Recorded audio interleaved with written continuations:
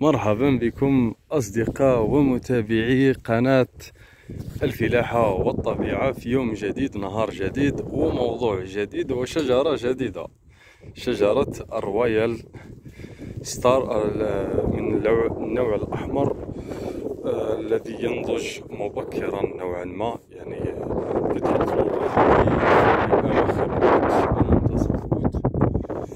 اعذروني أصدقائي لم أجلب معدات التصوير موضوع اليوم هو بداية تفتح البراعم الزهرية والورقية وأهم المعاملات التي يمكن آه، التدخل لرشها أو مبيدات أو أو مغذيات فقط. بشكل بسيط لأجلك صديقي الفلاح البسيط أنقل إليك هذه المعلومات. قبل أن ننطلق في موضوعنا إذا كنت أول مرة تصل إلى قناة الفلاحة والطبيعة أدعوك للاشتراك في القناة وضغط زر الجرس وضغط أيضا زر الإعجاب.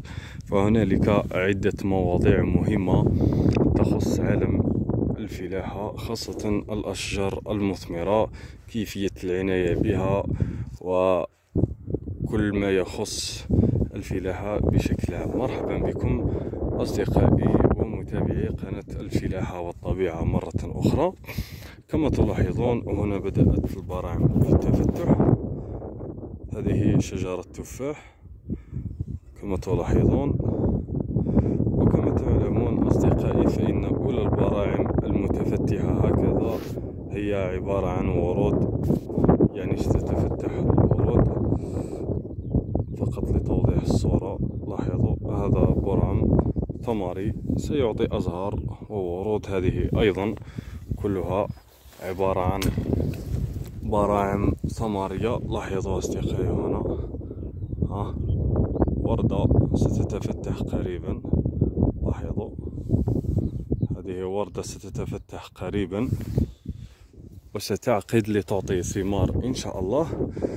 أصدقائي أنا شخصيا وحسب خبرتي في هذه المرحلة بعدما أن قمنا برش مختلف الزيوت المعدنية وأيضا آه، كبريت النحاس أو التوتية كما نقول وذلك من أجل آه، الوقاية والمعاملات الشتوية.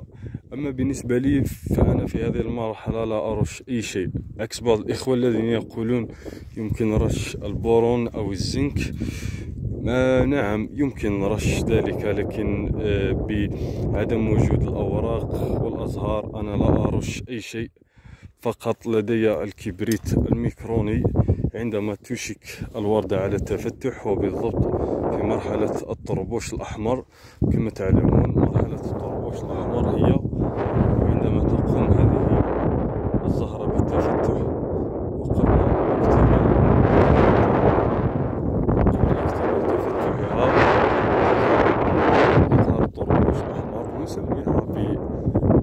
أو مرحلة ظهور الطربوش الأحمر في هذه الفترة بالضبط. أنا أقوم برش الكبريت الميكروني عندما يكون يعني آه، بعض الإخوة يتساءلون متى يمكن رش الكبريت الميكروني أو ما هي فترة الطربوش الأحمر.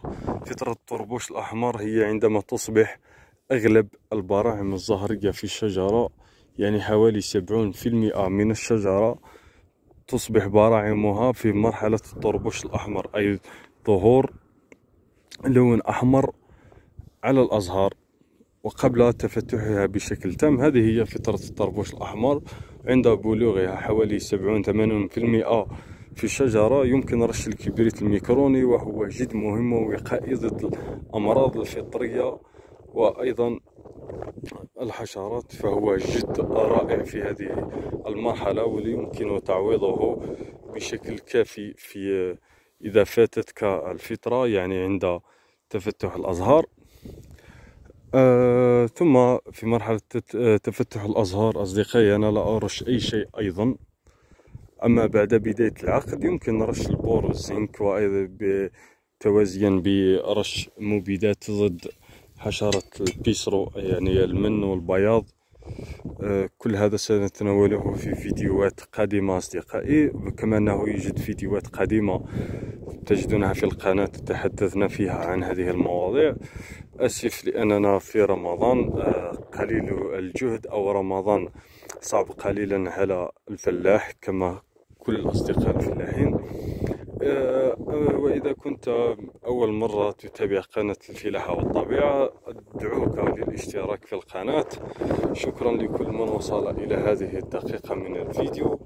أتمنى أن تكونوا بخير وأن تصوموا بصحة وعافية.